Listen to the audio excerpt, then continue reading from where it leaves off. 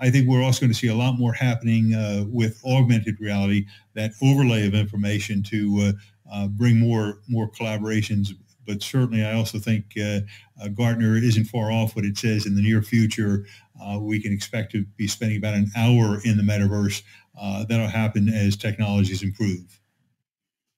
Wow, that sounds exciting. And um, you, you talked a bit about data and um, and it sort of hark, harks back to what Sally mentioned earlier about digital twins. And I know data is critical in, in digital twins. So Sally, what what's your response to the question? What technology trends do you think will be most heavily adopted by organizations? You you both mentioned telehealth. So will we have you know, digital twins of our bodies that will help us get better quicker?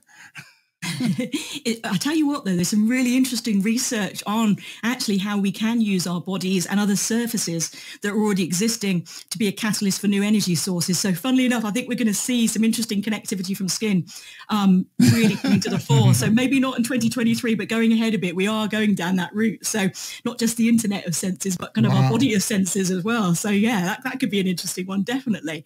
Um, but to- totally echo the comments Glen made. I think it was a really, really good overview of some of the areas there. I think beyond those ones that have already been covered, I think rise of yeah. things like industry specific clouds.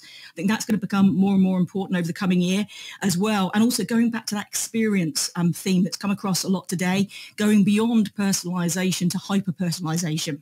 And again, that's catalyzed by convergence, particularly around AI machine learning. But I think that's going to become more a standard rather than something that's more unusual at the moment. So definitely mm-hmm. acceleration mm-hmm. around those areas.